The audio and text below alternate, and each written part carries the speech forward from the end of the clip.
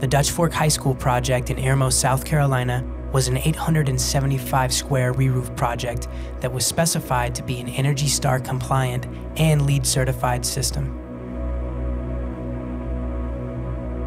Once moisture testing was done on the existing insulation, it was determined that more than 90% could stay in place. This led to an increased R value for the new system. Combined with a solar reflective membrane, the energy efficiency of the new system was bolstered, which will help the building conserve energy or British thermal unit consumption.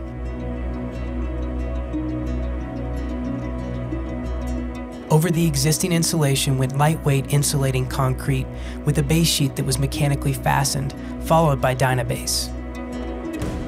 On top of the Dynabase went JM DynaGlas FR CRG, which is a cool roof membrane. Keep in mind, most of the plies were adhered with MBR cold application adhesive.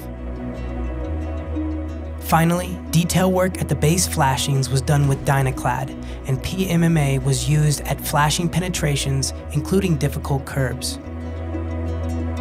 When every roof is our reputation, Johns Manville makes sure that your materials are on site when you need them with a technical representative so that your system can go beyond expectation.